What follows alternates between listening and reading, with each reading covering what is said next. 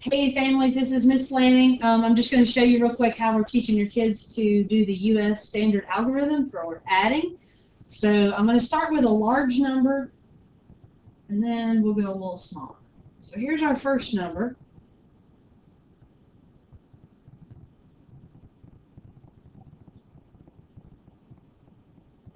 And I like to draw these lines in. I think that helps the students keep everything straight.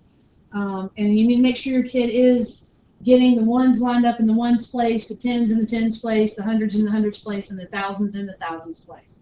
So this is a long and depth explanation. Um, I'm going to show you in a minute a really shorter way, the way that we're all more a little familiar with, but I wanted to explain to you what we're explaining to the kids at school. So we always start in the ones column. Um, the four is really just a four. The seven is really just a seven, as in four ones and seven ones. Um, and we know that when we add 7 plus 4, we get 11. And so when you look at the number 11, in the number 11, there is one 1, and so that 1 stays in the ones column because it is a 1.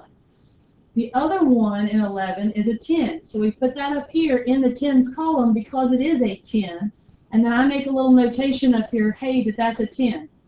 So then in the tens column, we need to make sure your child can say that this 1 represents a 10, the 5 represents a 50, and the 9 represents a 90.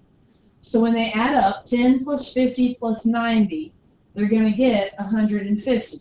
So when we look at that number 150, there are zero ones. So we don't need to change that 1 that we've already done. We need to put the 5 in the tens column because that's the one we just added. And this 1 right here is going to go up here into the hundreds place because it represents a 100. So now we have 100 plus 400 plus 700.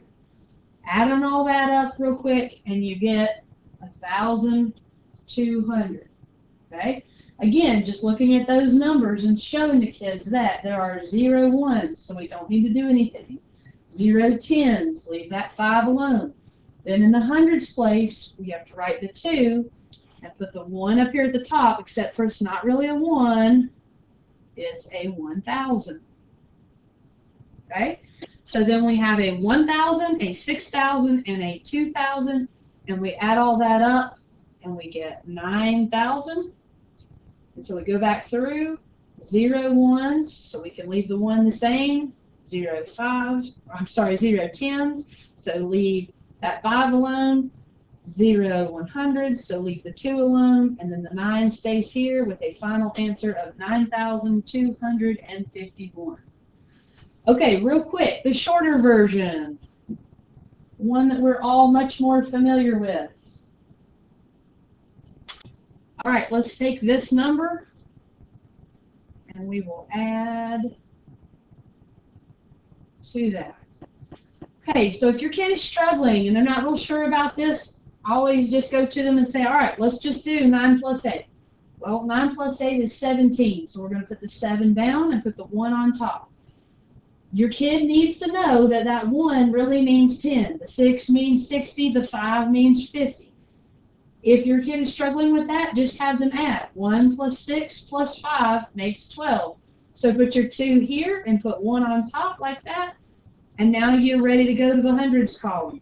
So in the hundreds column, you're going to add 1 plus 2 plus 3 and end up with a total of 6, and your final answer is 627. Thanks for watching.